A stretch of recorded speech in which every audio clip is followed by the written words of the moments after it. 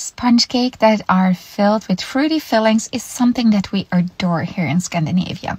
Now this wonderful recipe you can find in my baking app. It starts with a white chocolate sponge cake and it's filled with delicious lemon ganache. Is very fresh. I first add a little bit of lemon syrup around the cake and then I fill it with this delicious whipped lemon ganache which is so fresh in taste, lots of lemon flavor.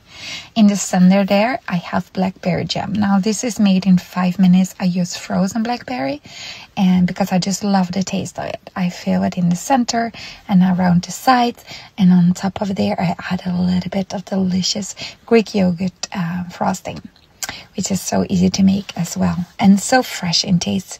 Now on the next layer, I add more blackberry jam and then blueberry jam. This is also made with frozen blueberries and then a little bit more Greek yogurt frosting. After a night in the fridge, I cover the cake with my whipped lemon ganache, the remaining, and it's just so fresh in taste. This is truly a cake that is so, just has freshness all over it. It is unbelievable, unbelievable moist. I hope you will love it.